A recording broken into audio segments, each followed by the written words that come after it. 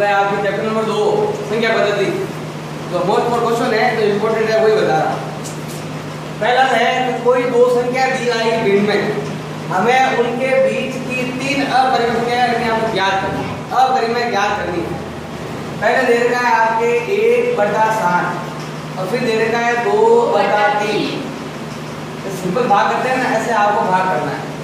और उत्तर लाना है। इसका उत्तर आएगा आपके ज़ीरो क्या नाम है? ज़ीरो पॉइंट एक, चार, दो, आठ, पाँच, सात, ये उत्तर आएगा तो भाग देना सात का भाग। ये पॉइंट लगेगा, फिर आप ज़ीरो आ जाएगा, फिर एक बार जाएगा, फिर तीन बच जाएगा, फिर चार बच जाएगा, ऐसे भाग देंगे उसके बाद वापस से एक, चार, दो, आठ आ जाएगा। वापस से एक चलते रहेगा तो ये लाइन में से मने है कि उत्तर ही आएगा। दो, आठ, पाँच, सात, वापस एक, चार, दो, आठ, पाँच, सात, ये संख्या बात आती रहेगी। इसलिए मैंने यहाँ पर बढ़ा दिया ऐसे तीन का भाग लेना है आपको दो में। तो भाग में रहेगा ज़ीरो पॉइंट छः ऐसा है। तो ये आपके जैसे भाग देंगे ना यहाँ पर, ज़ीरो पॉइंट छः से लगातार है। मतलब यहाँ मैंने भाग गया छः बार। यहाँ लगाएगा पॉइंट लगाएगा तो ज़ीरो जाएगा छः छः अठारह का दो, फिर दो दिया। अब बस ज़ीरो। अब बस भाग गया। वापस दो बचेगा, वापस भाग जाएगा छः छः छः आता रहेगा। तो छः क्या आएगा अशांत संख्या तो ये आगे यहाँ मिल जाएगा। तो रह जाएगा ज़ीरो पॉइंट छः के ऊपर लाइन रहेगी अब यहाँ तो दे रखा है आपके, चौदह दे रखा है। और यहाँ आपके जो कुछ नहीं है मान लो संख्या दो ले रहा हूँ।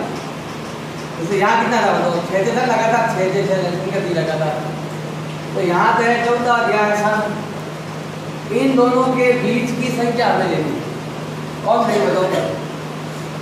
ज़ीरो, चौदह और साठ की संख्या क्या आता है? पैंतीस के दो। चालीस के दो पैंतालीस, साठ, बासठ, पैंसठ ईसा है क्या इन दोनों बीच में आती है ना चौदह से लगा साठ संख्या जो भी आ रही मान लो मैंने ले लिया पंद्रह।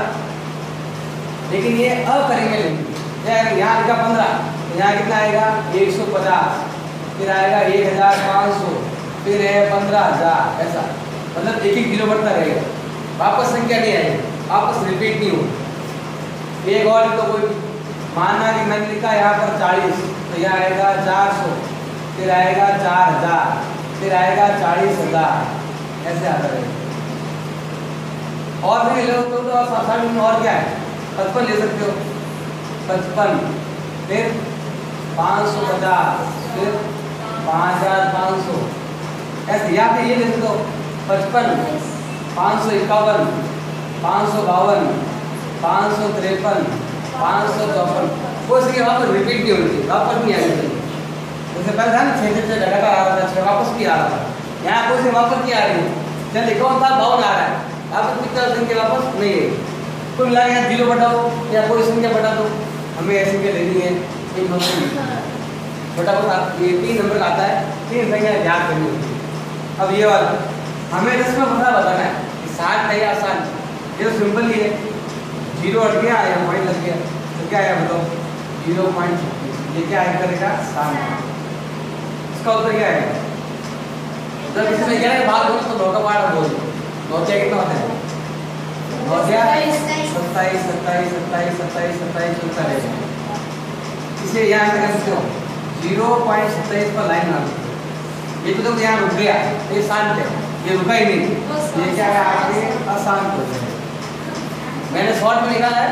आप ऐसे बाहर देके निकालोगे ना, ग्यारह और यहाँ तीन है तो पॉइंट लग जाएगा यहाँ ज़ीरो आ जाएगा। ग्यारह ग्यारह गुना बाईस कितना बज गया आपके आठ। वापस भाग दो ग्यारह, सात सौ सत्तर तीन वापस आ गया तीन वापस ये आएगा दो, सात दो, सात आता रहेगा शॉर्ट में करना है, फटाफट। तो ग्यारह का भाग देना हो तो नौ का पार्ट हो और नौ भाग देना हो तो ग्यारह का पार्ट हो मैं फटाफट कर अब सवाल में ये दे रखे हैं वापस क्या बनानी है आपको? बिन बनानी तो ये सवाल ऐसा उत्तर दे रखा है, ऐसा तो ये रहा, ज़ीरो पॉइंट छः था इसका उत्तर मैं निकाला तो उत्तर क्या है आपके? ज़ीरो पॉइंट छः के ऊपर लाइन है। अब वापस ऐसा दे रखा है और आपको ऐसा बनाना है। वापस ऐसा आया एक नंबर का। और थोड़ा बड़ा आ गया। दो संख्या और तीन कर दो। तो आपके बड़ा प्रश्न है तो तीन नंबर का। कल ये बता दें फ़र्स्ट ऐसे लिखेंगे, माना। एक्स बराबर ज़ीरो पॉइंट छः छः छः क्योंकि लगातार है। संख्या इसके ऊपर बाहर आएगी ना, इसके ऊपर बाहर आती है वो संख्या आती है बार बार जैसे यहाँ पर दो पर क्या क्या सैंतालीस सैंतालीस सैंतालीस ऐसा आएगा। हम क्या करेंगे? इसको समीकरण नंबर एक है, इसको कर देंगे दस से गुणा। दस से गुणा क्या करेंगे? एक पर लाइन है, दस से गुणा करना है। दो पर लाइन हो तो सौ से गुणा करना है। तीन पर लाइन हो तो हज़ार से गुणा करना है। दस से गुणा क्या आया, दस एक्स बराबर क्या आएगा? अब ये पॉइंट यहाँ से यहाँ आ जाए। एक पॉइंट आगे तरह दस से गुणा करेंगे तो एक। जी अगर सौ से गुणा जाए तो दो आगे छः पॉइंट छः छः छः छः आगे तो अनंत है। यहाँ पॉइंट के बाद चार लिखे तो यहाँ भी पॉइंट के बाद तो चार लिखो तो वैसे भी खूब सारे छः लिखे उसमें से दिखाने कितने आपको चार दिखाने अब क्या करेंगे? ये समीकरण नंबर एक यहाँ लिखेंगे। ऊपर लिखा था ना? वो यहाँ लिखेंगे। ज़ीरो पॉइंट छः छः छः अब करेंगे घटा देंगे चिन्ह चिन्ह करो। Minus minus. दस में से एक गया। ये दस एक्स है और ये एक एक्स है। पीछे बच गया नौ एक्स ये तो सेम है, कट गया। ये आ गया छः। गुणा है तो? एक्स का मान आएगा आपके छः बटा नौ। उत्तर जाएगा। तो दोनों दादा तीन का बाद। तीन मिनट छः तीन दिया ये लो। दोनों आने चाहिए आप ऐसे बात से करिए, उत्तर लाना चाहिए और ये उत्तर दिया वापस से, ये भी आना चाहिए आप दोनों तरीके अब ये वाला है तो क्या लिखना है आपको? माना x बराबर हमने क्या मान लिया? ज़ीरो पॉइंट सैतालीस सैतालीस सैतालीस सैतालीस सैतालीस अब यहाँ पर दो संख्या के ऊपर है हम किससे गुणा करेंगे? सौ से गुणा करेंगे। यहाँ करेंगे सौ से गुणा और इसको मान लेंगे समीकरण नंबर एक। सौ से गुणा क्या यहाँ क्या आएगा? सौ एक्स। आप सौ यहाँ पर यही ले सकते हो। सत्ताईस ले लो ताकि आप उत्तर ही आ जाए अगर आप सत्ताईस ले तो सत्ताईस आ जाएगा कोई फ़र्क पड़ने वाला आपके नहीं। यहाँ पे कितना आएगा? सत्ताईस सत्ताईस सत्ताईस। ताकि उत्तर की जाँच हो जाएगी आप। तो सही है। सबको सौ से गुणा किया तो यहाँ क्या आया? सत्ताईस पॉइंट सत्ताईस सत्ताईस सत्ताईस चलता रहेगा अब यहाँ लिखना है आपको समीकरण नंबर एक। समीकरण नंबर एक क्या है? एक्स बराबर ज़ीरो पॉइंट सत्ताईस सत्ताईस सत्ताईस। घटाओ। यहाँ लिख दो। घटाने पर माइनस माइनस सौ माइनस एक गया। अब ये सारे घट जाएँगे तो क्या आएगा? सत्ताईस। ये गुणा है तो x का मान आएगा सत्ताईस बटा निन्यानवे दोनों भाग जा रहा है नौ का। यहाँ जा रहा है भाग नौ का तीन बार और यहाँ जा रहा है ग्यारह बार। तो कितना है आपके तीन बटा ग्यारह। अब यहाँ क्वेश्चन चेंज कर देता हूँ। ज़्यादा अच्छा रहेगा। जैसे मान मैं लिख देता हूँ सात। तो नंबर लिख नंबर लेके आ रहा हूँ तो क्या करेंगे देखो ध्यान देना? वही क्या करें सबसे पहले? माना x बराबर क्या लिखे बताओ सात पॉइंट एक सौ एक एक सौ एक एक सौ एक करके उसको मान लो समीकरण नंबर एक। अब यहाँ पर तीन संख्या है। इसलिए किससे गुणा करेंगे? हज़ार तो यहाँ करेंगे हम एक हज़ार से गुणा करने पर। तो गुणा करो। X बराबर क्या आएगा यहाँ आएगा एक हज़ार एक्स और यहाँ आएगा सात एक सौ एक। पॉइंट यहाँ से यहाँ आ जाएगा और फिर क्या लिखोगे यहाँ पर? एक सौ एक एक सौ एक एक सौ एक। ये अब क्या करना है? यहाँ लिखना है आपको समीकरण नंबर कौन सा? एक। क्या समीकरण नंबर एक? क्या हुआ? घटाएगा तो घटाएगा कितना देर का है? सात पॉइंट एक सौ एक एक सौ एक और एक सौ एक। अब घटाएँगे। अब यहाँ लिख कर घटाएँगे। तो एक हज़ार में से गया आपके एक कितने बच गया? यहाँ बच गया है नौ सौ निन्यानवे। पीछे वाला सेम में कट गया। तो अब यहाँ कितना है आपके? ग्यारह में सात। ये कितना आ गए चार। या नौ बजे। और यहाँ है आपके सत्तर गुणा है तो? समान आएगा सात हज़ार चौरानवे बटा नौ सौ निन्यानवे। कटता है बराबर और काट पॉइंट में लाना है। पॉइंट में ऑलरेडी था उधर। आपको उधर भिन्न में लिखना है। मतलब ऐसा लिखना है ना पी बटा क्यू के रूप में। भिन्न में लिखना है।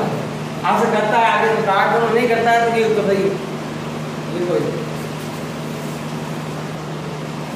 अगला है आपके जो इम्पोर्टेंट क्वेश्चन है। ये दो पॉइंट दो के मोस्ट क्वेश्चन है, जो एग्ज़ाम आते हैं।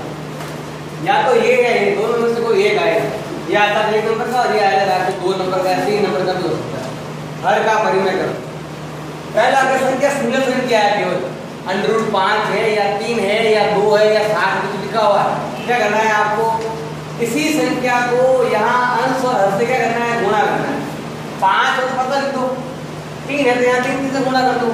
जो संख्या है सिंगल गुणा करना है। जैसे गुणा किया यहाँ आएगा आपके अंडरूट का पाँच और ये क्या आ गया आपके पाँच? ये आ गया उत्तर हमें करना था हर का परिमयकरण परिमय परिमय अंतर क्या होता है? जिसका अंडरूट लगा होता है, वो होता है अपरिमय संख्या। या जिसका ज़ीरो बढ़ता भी होता है। जिसका ज़ीरो बढ़ता है, बार बार, वो होती है परिमय संख्या। यहाँ पर अंडरूट पाँच एक अपरिमय संख्या है। हमें करना है हर का परिमय परिमयकरण मतलब हर को आपको अंडरूट हटाना है। क्या करना है? हर में आपको अंडरूट हटाना है। यहाँ तो कि परिमयकरण करो। कहते में ऐसा दिया हुआ नहीं आएगा। सीधा एक क्वेश्चन दिया हुआ आएगा तो उत्तर निकालना है उत्तर बाई ऐसा आ गया तो आप खुद को ही मन से ही उसका क्या करना है? हर का परिमयकरण करना है आगे तो। यहाँ तो आप ऐसे लिखा हुआ है कि आपको हर का परिमयकरण करना है। तो आप करना क्या है? दोनों को जो संख्या यहाँ हो वो दोनों से यहाँ गुणा कर देना और हर में अगर सिंगल संख्या हो तो, तो ये संख्या है। इसके बीच में क्या आ गया आपके प्लस आ गया अब हम क्या करेंगे? इसको गुणा करना है आपको। दो माइनस अंडर तीन और दो माइनस अंडर तीन। इसका उल्टा लेना है। जो यहाँ लिखा वापस यहाँ लिखना है और यहाँ भी लिखना है। अब जिनका ध्यान देना है यहाँ प्लस है तो यहाँ क्या करना दोनों तरफ़ माइनस करना है। तो ये आ जाएगा आपके दो माइनस अंडर तीन बता अब देखो एक बार संख्या प्लस में एक बार किसमें है तो ये ये लगाना है। A plus b a minus बराबर a square minus b square ये लगाना सूत्र आप। तो यहाँ लगाएँगे दो का बी स्क्वायर और अंडर तीन का बी स्क्वायर बीच में आ जाएगा आपके माइनस अब ये आएगा दो माइनस अंडर तीन बता दो दूनी चार। और इस पर हट गया तो अंडर हट गया। तीन आ गया। उत्तर आ गया है दो माइनस अंडर तीन बटा घटाओ तो कितना होता है एक। उत्तर आएगा आपके दो माइनस अंडर तीन बात इम्पोर्टेंट भी है। अब बात में बात आता है क्वेश्चन और बात में आता है आपको नंबर याद नहीं करना है, रखना नहीं नंबरों क्योंकि नंबर तो चेंज होते रहते हैं। फिर भी ये सवाल सीधा आया हुआ रहता है, फिर भी आपको नंबरों को ध्यान देना है, बस ये करना है कि दोनों को गुणा करना है। जो उस, जो संख्या यहाँ लिखी है ये लिखकर आपको गुणा करना है, सेम पश्चिम को बदलना है। अब ये वाले को यहाँ इन दोनों को आपको जोड़ना है, और फिर यहाँ दोनों गुणा करना है। पहले वो जोड़ोगे दो अंडरूट तीन प्लस तीन अंडरूट पाँच प्लस अंडरूट तीन माइनस अंडरूट पाँच। अब ये ध्यान देना है कि अंडरूट तीन में अंडरूट तीन जुड़ेगा। अंडरूट पाँच अंडरूट पाँच। ये दोनों नंबर क्या है आपके? सेम कैटेगरी के। आप ऐसा मान लो एक्स है। ये तो है दो एक्स और ये एक एक्स दो और एक कितने हो गए? तीन एक्स ये एक्स की तरह काम करता है। एक्स कितना है? अंडरूट तीन। ये आ गया फिर देखो ये तो है तीन बार अंडरूट पाँच और ये है आपके एक बार अंडरूट पाँच। तो तीन में से एक यहाँ माइनस है। तो तीन में से एक गया। दो। बार अंडरूट पाँच। तो अंडरूट पाँच को अलग जोड़ना है अंडरूट तीन को अलग अलग जोड़ना है। ये दोनों प्लस के थे दोनों जुड़ गए। ये दोनों माइनस के प्लस माइनस का है तो तीन में से एक गया दो। अब आगे जोड़ा की नहीं होगी? क्योंकि दोनों अलग अलग है। यहाँ अंडरूट तीन है और यहाँ अंडरूट पाँच है। अब गुणा करना है। पहले करेंगे संख्या गुणा और अलग करेंगे अंडरूट का गुणा। ये होता है छेदनी, बारह। और ये होता है सप्तती उनपचास। बारह का बारह। उनपचास का कितना होता है? साठ। या कर सकते इसकी तरह। तो इस लिखा ना उत्तर तीन आया था। यहाँ भी सात अनुसार दो बार है। तो सीधा सात ही फिर क्या आएगा। बारह सात कितना हो जाएगा? चौरासी। अब ये वाला। हमें यहाँ पर ए और बी का मान ज्ञात करना है। बड़ा क्वेश्चन आता है, चार नंबर का। चार या तीन नंबर आता है। तो संख्या नहीं रखनी है, आपको दिक्कत, मैं तो देखना है। सेम इसकी तरह करना है। हम क्या करेंगे? हर का परिमयकरण करेंगे। तो सवाल को ऐसा हल करना है जिसका उत्तर ऐसा आ जाए। फिर हम ए बी निकाल लें कैसे? पहले क्या करेंगे? पहले करेंगे हम हर का परिमयकरण करेंगे। ये दे रखा है आपके सवाल। बटा तीन माइनस अंडरूट दो। ये तो है क्वेश्चन परिमयकरण करने के लिए क्या करना मतलब जो संख्या यहाँ लिखी हुई है, वही संख्या ऊपर नीचे लिखी हुई है सेम जो संख्या यहाँ लिखी हुई ना इधर लिखना वापस से। तीन अंडरूट दो और तीन अंडरूट दो। अब यहाँ प्लस है तो माइनस लिखो माइनस है तो प्लस लिखो। यहाँ माइनस है। इधर क्या आएगा प्लस का आ जाएगा।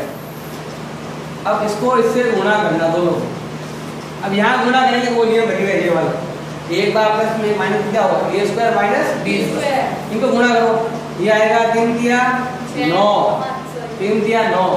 तीन तो तीन को इससे गुणा किया ना तीन को इससे गुणा करो। तो क्या आएगा आपके? तीन अंडर दो। फिर इसको गुणा करना है इससे। तीन में कितना आता है? छः अंडर दो। इसको गुणा करना है इससे। ये देखो ये दो अंडर दो है ये अंडर दो। इससे बन गया आपके दो। और इससे बन गया आपके दो। तो कितना हो गया आपके? चार। पता कितना आएगा?